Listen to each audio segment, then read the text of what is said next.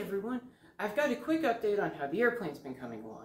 Um, lately, I've been doing a lot of work on the parts that are made from uh, aluminum sheet, um, and I ended up getting the headrest and firewall done, and um, also getting the uh, fuel tank roughed out. Uh, the fuel tank in particular, I was really excited to work on, uh, because on the SE5A, it's actually completely exposed, um, so it's a really distinctive part of how it looks, so um, it's really exciting to see it on there. Uh, I should note that the fuel tank is really just uh, roughed out and it's actually quite a long ways from being finished. Um, it still needs a um, filler cap and a sump and uh, a vent tube and um, it also needs to be sealed with a rubber sealant. Um, if the rubber sealant doesn't work out, uh, plan B is to just uh, uh, cut a hole in the bottom and stick a commercial tank on the inside of it. Um, so no, uh, no matter what, I can still make use of this. Um, there are quite a few ways in which uh, the fuel tank that I made is um, uh, a bit different from an original uh, fuel tank. I had to diverge from the plans quite a bit. Um, the biggest difference is that an original fuel tank would be made from steel, um, whereas I made mine from aluminum uh, to save weight. Um, also, an original fuel tank would have used solid rivets, which are a huge pain to work with, um, so I cheated and made mine with pop rivets, um, which th they don't look quite right, but um, at least it looks better than a welded tank would. Um, also, um, my tank doesn't have any baffles. Um, I'm planning to use the more modern method of just filling it with a low density foam, which will save me a lot of time.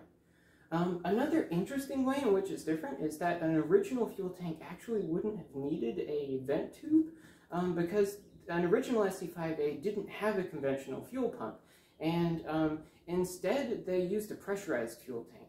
So um, there would have been a hand pump inside of the cockpit um, that you'd use to prime it before the engine started, and then once the engine was running, it would be pressurized by an engine-driven air pump. Um, since um, uh, since I'm going to be using a conventional mechanical pump, um, I'm going to need a vent tube though, and my plan for where to run it is to just uh, run it up the one of the cabane struts once I've got a center section done. Um, another interesting aside about um, the SE5A fuel system is that um, an original SE5A actually had two fuel tanks.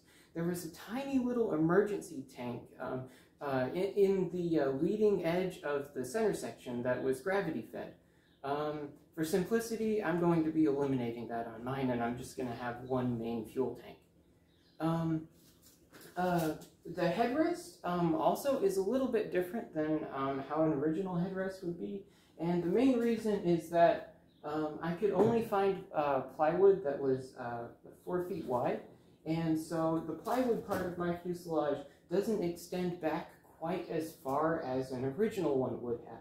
So with an original SE5A, the aluminum headrest would have screwed into plywood, um, but since I didn't have that option, I epoxied it to the plywood part of the uh, headrest, and then I covered the aluminum headrest with Dacron.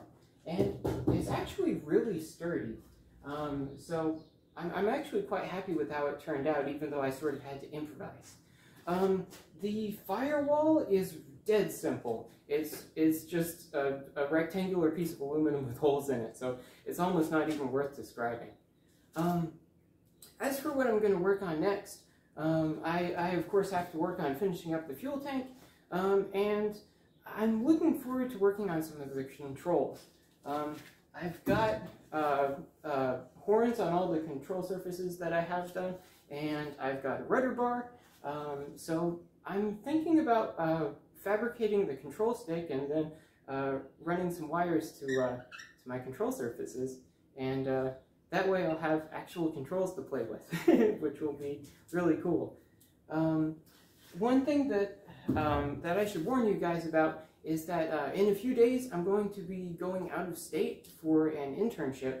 So there's going to be two months where unfortunately I won't be able to work on the airplane. So um, sadly, there's going to be a, uh, a longer gap uh, between this and my next airplane update, um, which I'm, i apologize for. Um, thank you so much everyone for watching, and um, a huge thank you in particular to my Patreon supporters. I, I really appreciate your help.